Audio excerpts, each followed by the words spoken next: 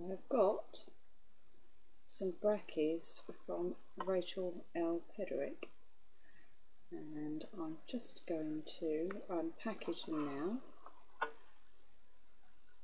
Really excited about these. Uh, I've got an Emilia, a Smithi and a nice little surprise which was a little baby Vagans. So I'm just going to pop the Emilia in here first. Let's see how Oh, aren't you lovely?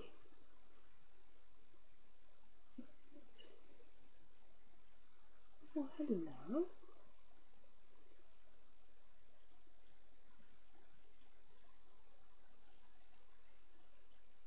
We can get you up there. You doing any flicking? Oh, look.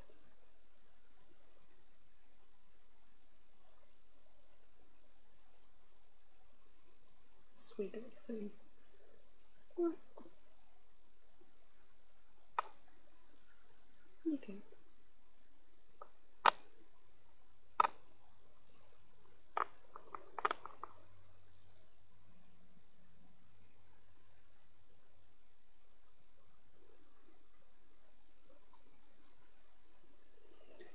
We don't want to go.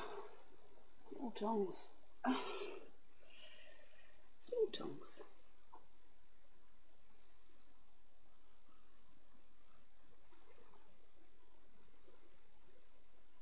Oh, little one.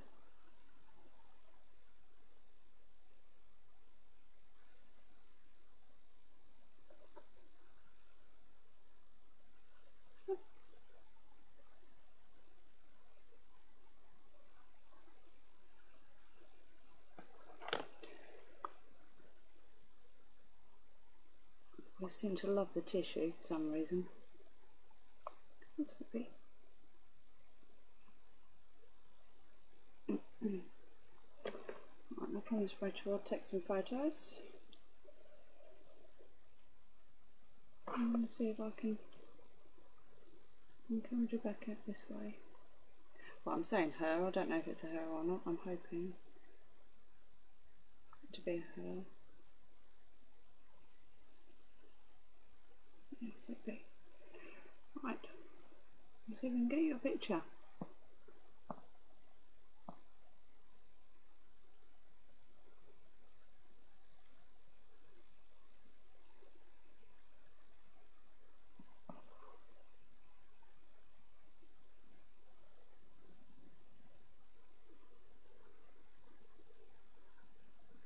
Big bum Emilia.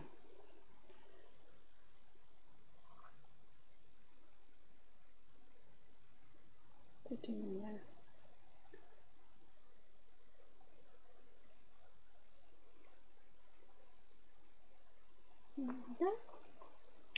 And I've got to set up homes for all the others. I'm just going to put that one by there. Um, so,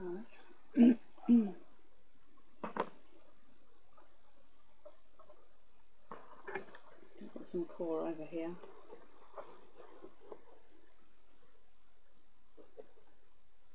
Ideally it needs to be dry but because they're juvenile stroke slings they um, they need something a little bit damper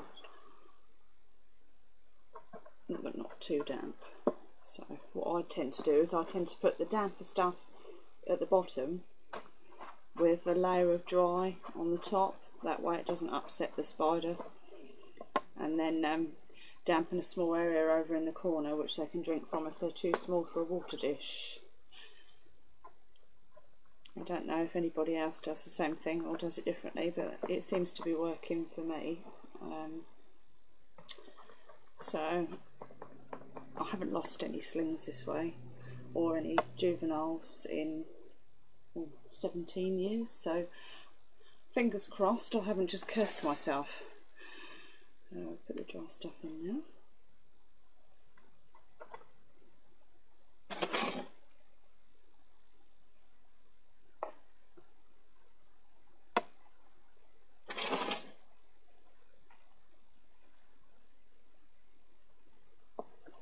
we go, and a home.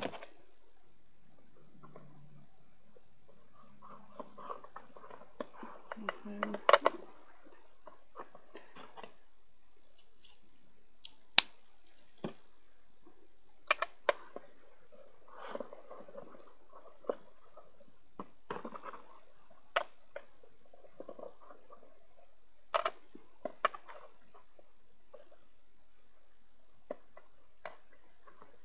Mm, Some more cool.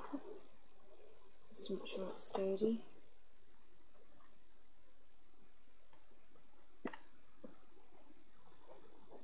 I get my bricks from a place called Fertile Fibre because you get 20 bricks for 20 pounds, which is a bargain.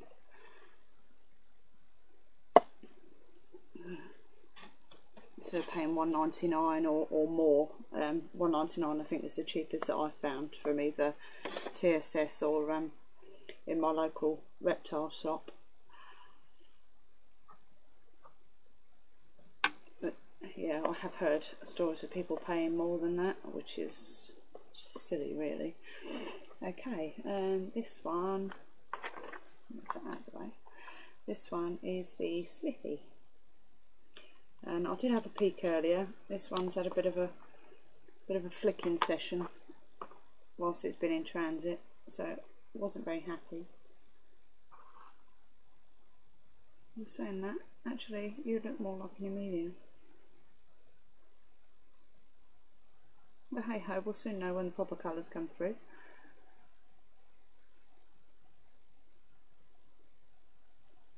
I don't very good. I'm not using the normal camera at the moment, so the quality is a bit naff, unfortunately.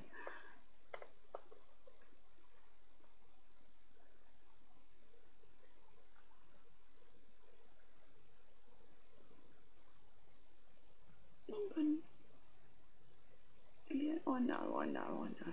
Yeah, we've got some hairs, lovely. I'll have a nice scratch later.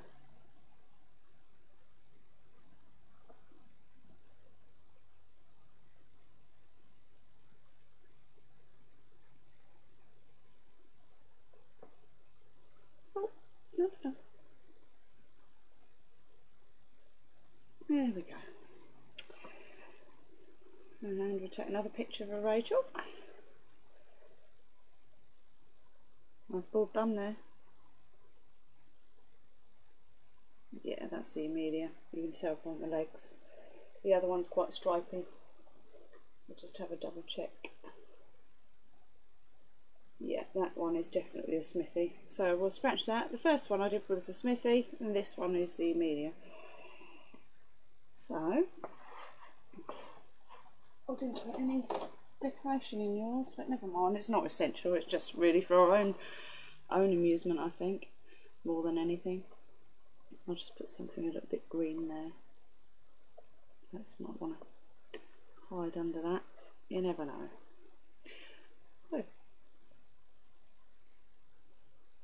There. See how oh, my hands out of there. Not perfect, but they grow and then you can give them their forever home. Uh, lid. There we go. Get settled in there.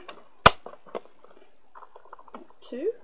And then Rachel has kindly given me a new tub.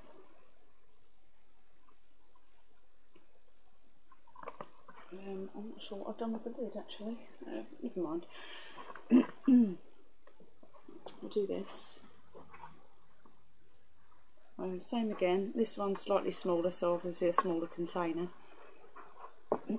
uh, tubs or um, these little enclosures like Rachel's just given me we get from Stanny at Tartan Tarantulas which are really really nice for when you've got small juveniles or or um, slightly larger slings. Um, they're no good if you've got tiny slings.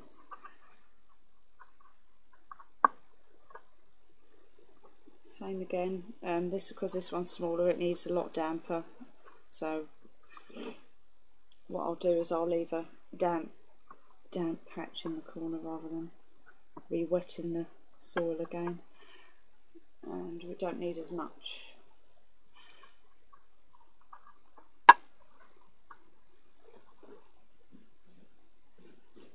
so you need to be breaking it up at the same time because I'm a bit lazy I haven't bothered um, breaking it up. I'm just scratching at it.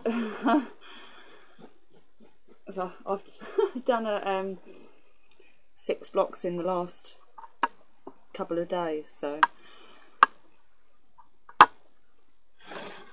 Just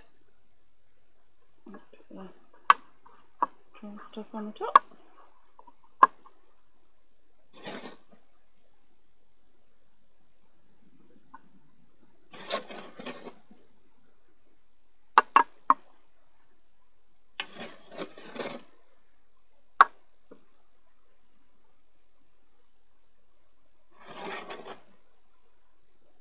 leave a bit on the end and try and break some of this off. There we go. And a home. I'll take that one a bit better. Nice new home. Okay, and I'm not putting decoration in here because this one's a lot smaller. And you tend to lose them otherwise. Uh, right, little one. Uh, this is a Brachypelma vagans uh, Mexican red rump.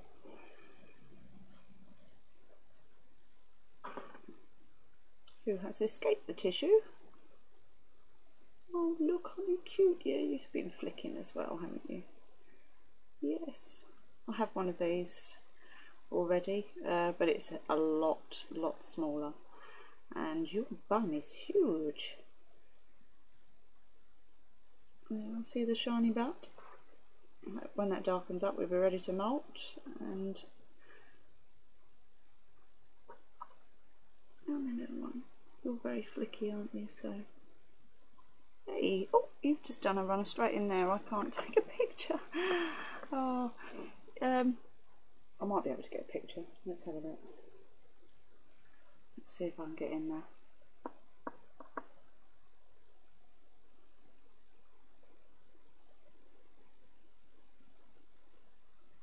We can just see a bum, so that's uh, never mind.